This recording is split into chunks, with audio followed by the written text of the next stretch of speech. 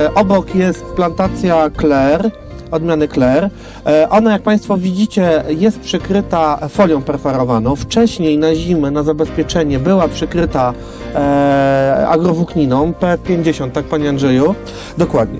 Ja chciałbym, żebyście Państwo, jeżeli macie przykryte e, rośliny, czy to włókniną, czy folią perforowaną, e, e, zobaczyli, co się dzieje pod tym okryciem. Dlatego, że warunki panujące pod okryciem są zgoła inne od tych, które, e, na które są narażone, na które są wystawione te rośliny, na których tutaj e, widzimy. I choroby i szkodniki mogą się w takich warunkach już zacząć e, rozwijać. E, można zaobserwować, proszę Państwa, szarą pleśń. Ona troszeczkę została i tak jak mówiłem, tutaj podlewanie deszczownią, e, dystrybucja wody w okresie letnim, kiedy mieliśmy afrykańskie upały, właśnie za pośrednictwem deszczowni, mogła sprzyjać infekcjom, bo podnosiła wilgotność powietrza właśnie e, spowodowanym przez grzyb e, Botrytis cinerea. On się tutaj akurat, my go nigdzie nie widzimy, ale na ogonkach liściowych, na ogonkach liściowych, proszę Państwa, tu może się on ujawniać i tu już może dochodzić do infekcji, tu już może być szara pleśń. To jest potężne źródło infekcyjne na kolejną część sezonu, kiedy będziemy się starali chronić otwarte kwiaty, później owoce, coraz to dorastające właśnie przed tą groźną chorobą. Sprawdźcie, pr- proszę Państwa, czy Wy nie macie właśnie szarej pleśni, dlatego że te młode liście, zwróćcie uwagę, które już wyrastają, można przyjąć, że wegetacja na tej plantacji już się rozpoczęła, tak? Nie są takie silne, duże, wysycone woskami, włoskami i tak dalej, jak te młode, małe liście się rozwijające. One są bardziej podatne. I szara pleść tu może znajdować przy dobrych warunkach termicznych, przy dobrych warunkach wilgotnościowych, braku cyrkulacji powietrza, właśnie szczególnie pod odkryciem, dobre warunki do, e, do rozwoju. Co proszę Państwa robić? Wszystkie stare liście sugerowałbym, czy to mechanicznie, czy to ręcznie, to już pozostawiam Państwu, ale usunąć, tak? Tak, żeby te młode liście tu był przewiew, e, przewiew powietrza, tak? Jeżeli zdiagnozujecie bardzo silne porażenie tych części zielonych przez e, szarą pleśń, e, sugeruję zastanowić się nad użyciem preparatów biologicznych typowych biologicznych, dlatego że na chemię na chwilę obecną nie mamy warunków. E, widzicie, jest niby 8 stopni, tak mój termometr w samochodzie pokazywał, a tutaj wszyscy stoimy, więc temperatura odczuwalna jest jeszcze niższa.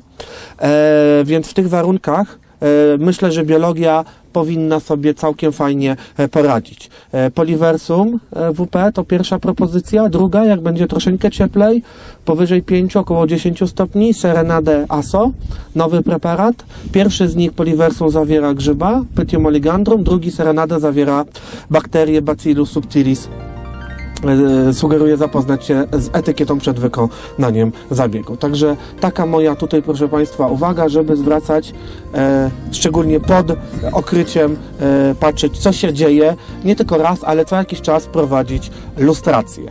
E, oczywiście na tych liściach mogą zostać e, zarodniki białej, czerwonej plamistości liści, e, ewentualnie mączniaka prawdziwego. Na razie jeszcze te warunki e, mogą być nie do końca sprzyjające rozwoju tych chorób liściowych typowych, ale e, kto wie, jeżeli pogoda się będzie e, zmieniała. Może powiem o chorobach w nawiązaniu do tego, co kolega mówił. E, Bo tak, e, szara pleść rzeczywiście ona na starych liściach będzie się rozwijać, ale pamiętajcie, że szara pleść to jest choroba, która jest e, chorobą, która może się również rozwijać na innych roślinach albo na e, obumierających tkankach roślin.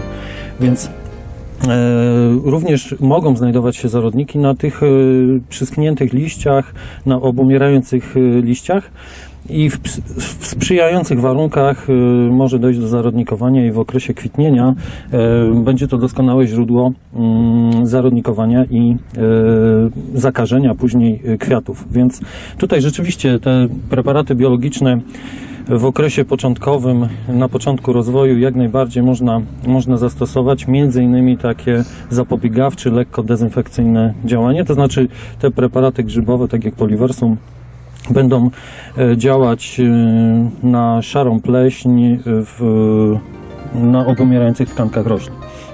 Natomiast jeszcze jedną rzecz chciałbym, e, o, chciałbym wspomnieć, e, to znaczy chodzi o chodzi o e, chodzi o e, preparaty preparaty od, e, choroby odglebowe.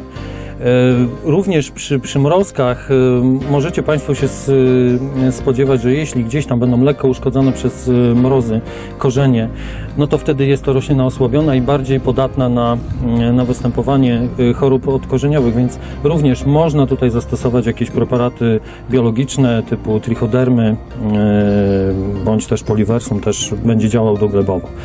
Więc to jest w nawiązaniu do, do chorób. Natomiast jeśli chodzi o e, o szkodniki, to e, no w tej chwili, gdybyśmy oglądali rośliny, no to możemy e, na tych starych liściach próbować, na, możemy próbować odnajdywać e, e, pozostałości po uszkodzeniach ubiegłorocznych, to znaczy czy jesienią występował w dużej ilości e, przędziorek, więc uszkodzenia i ewentualnie jakieś wylinki, e, pozostałości po e, chorionu, chor, chorionów jaj, Natomiast, żeby y, stwierdzić występowanie, y, występowanie roztocza truskawkowego, to musielibyśmy zajrzeć tutaj właśnie do, do środka, do, do koron i do y, młodych na młode rozwijające się liście. Szkło powiększające, ja tutaj mam takie proste, tradycyjne, y, bez, bez podświetlenia, ale to mogą być również inne. Byleby powiększyć to, co tam się znajduje, czy może się znajdować. A więc odchylamy właśnie koronę tutaj i, i liście e, rozchylamy pod powiększenie możemy oglądać czy będą się, e, czy znajdują się tam e, roztoczy, roztocze czy nie.